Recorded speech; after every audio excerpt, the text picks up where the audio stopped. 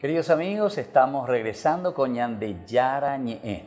Estamos en este segmento que le llamamos ¿Qué hace la iglesia? La acción, ¿verdad? la fuerza de Dios, la fuerza del Espíritu que nos envía siempre a obrar algo. Y hoy tenemos una visita muy importante, muy interesante, al mismo tiempo vamos a hablar. Se trata del padre Pablino, el es párroco actualmente en la parroquia María Reina, Pablino Villalba Morínigo. Y vamos a hablar de algunos escritos que él está haciendo, él nos va a narrar de estas cosas y sobre todo algo que a mí personalmente me llamó mucho la atención y aquí tengo en manos también la pelota en la cancha del pensamiento. A mí me parece que justamente es una linda manera de llegar a la evangelización, porque va por año de va la partidos y nada fútbol, y de gusta formarlo y cada uno de estos detalles del deporte, cómo él hace una reflexión filosófica y cómo nos ayuda también ¿verdad? a entender cómo va caminando nuestra vida. Muy bien, Padre Pablino, ¿qué tal? ¿Cómo está? Bienvenido aquí a Ñandecharañe. Muy bien, Padre, y gracias por la invitación para este programa y para compartir, ¿verdad? Sobre algo que me apasiona, que es escribir, ¿verdad? Algo que desde el tiempo de colegio, seminario ya lo iba haciendo y lo he concretizado escribiendo algunos libros, ¿verdad? Ya. Y esto justamente, y Pablino, esto que cayó en mis manos, ¿verdad? Eh, leyendo aquí, después miré así y decía, ah, pero a Pablino yo le conozco, ¿cómo es eso que no me había llegado todavía antes de morirse enseguida? Después viendo un poco esto de la pelota en la cancha. No sé si primero puedes contarnos este, tu, historial un poco como sacerdote, a ¿verdad? Y después un poco también eso que estabas diciendo, que ya te apasionaba, cómo comenzaste a escribir también, sobre qué cosas fuiste escribiendo, porque no es entonces solamente este libro, ¿verdad? Sino que tienes otras sí, otros libros también que forman toda una colección. Y la verdad que desde temprana edad, principalmente en el colegio, ya empezó en mí ¿verdad? Es el interés por la escritura.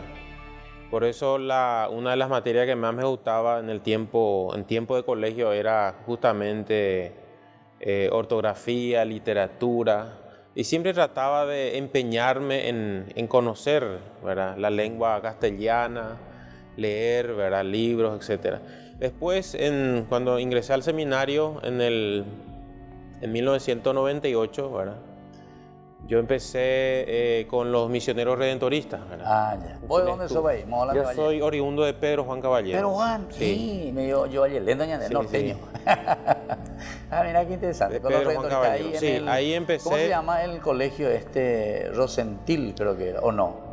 Es el colegio Escuela Parroquial y ah, Colegio Rosentil. Ah, Rosentil. Eh, Pero yo estudié en el Centro Regional de Educación, ah, doctor Raúl Peña. Ah, ya, ya. Y el, en el, cuando estaba en el seminario, ¿verdad? estudié, tuve mis estudios filosóficos en el ICEF de los padres jesuitas. Sí. Y ahí también con el recordado eh, profesor Funes. Ah, sí, hasta ahora sí, él Hasta ahora sí enseña. Y, y me acuerdo que con él y en su clase siempre trataba de esmerarme porque me gustaba, como ya he dicho, la lengua castellana, la literatura, eh, aprender a leer bien, escribir bien, etc. Entonces ahí se organizaba pequeños concursos, ¿verdad? Me acuerdo que una vez concursé en un concurso de cuentos breves y salí segundo lugar, ¿verdad? segundo puesto. Y después también cuando pasé al seminario mayor con la arquidiócesis, eh, se hacían también en el seminario concursos de, de, poesías, ¿verdad? Entiendo. Me acuerdo que una vez se hizo un concurso de poesía sobre la Eucaristía y presenté como cinco o cinco poesías, ¿verdad? ¿En serio? Sobre la Eucaristía. Y la verdad que fue muy simpático, ¿verdad? No sé si había pocos participantes o tuve mucha suerte, ¿verdad? Salí como segundo, tercero, cuarto, quinto, puesto. Más o menos todo. Era simpático, ¿verdad? Cada, cada momento el, padre rector llamaba y, y nuevamente estaba ahí para recibir un premio, ¿verdad? Pero bueno, no, no, Pero ahí también empezó en mí ese gusto, ese interés por escribir poesías, ¿verdad? Sí, sí, Aparte de escribir cuentos, ¿verdad? También escribía poesías. Hasta que después de ordenarme en el 2007, en el 2008 publiqué mi primer libro, que es este libro que se llama Reflexiones Poéticas, ¿verdad? En el 2008. Es una serie de reflexiones hechas pero en poesía, ¿verdad? Entiendo. Son poesías pero que te invitan a la reflexión. Después en el 2012 publiqué este segundo libro que es Huellas del Caminante, que es una serie de reflexiones, pensamientos sueltos, eh, oraciones, poesías también, ¿verdad?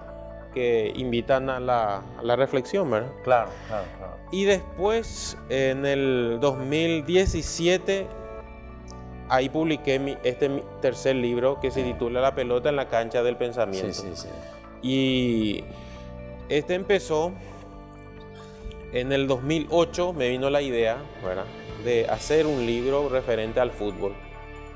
Comencé a escribirlo y después dejé, eh, dejé guardado ahí en mi, en mi computadora y no le hice más caso, ¿verdad? Porque dije, pero ¿cómo un sacerdote va a escribir sobre algo? De pelota.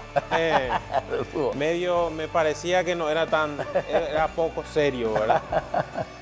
Pero eh, ahí dejé.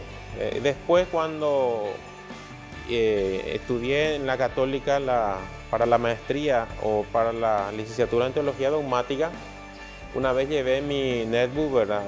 mi computadora en la clase y estaba viendo los archivos guardados que tenía en mi computadora y de repente un colega mía, un colega, un colega mío, ¿verdad?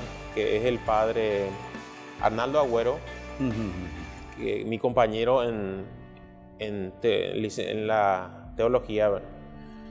vio, es, eh, vi- vio que yo tenía guardado ese archivo y, me, y quiso saber qué era. Así. Eh. Vaya, vea. Eh, y yo le mostré Sí, sí. y sí. me dijo, pero qué interesante.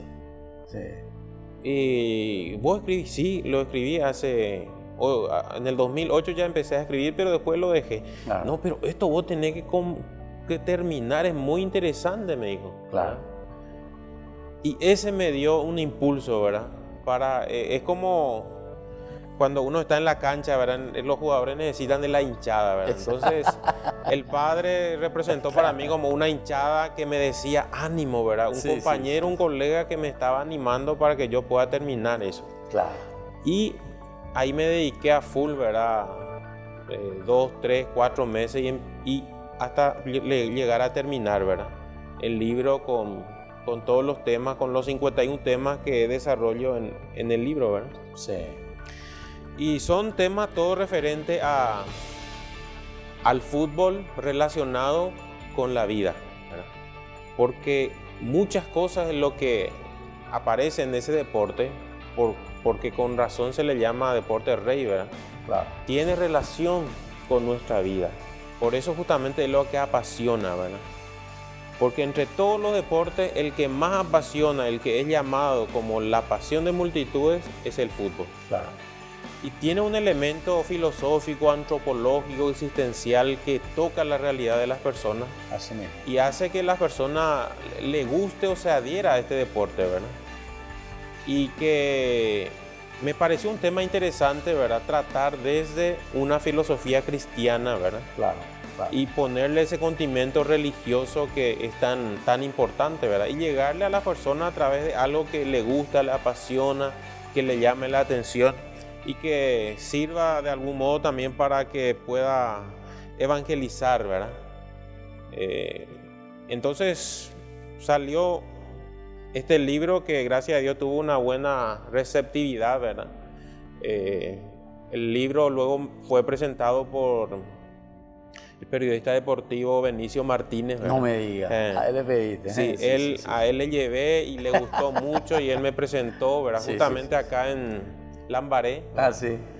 en, en una casa de un amigo, ¿verdad? Hicimos la presentación en el diciembre del 2017.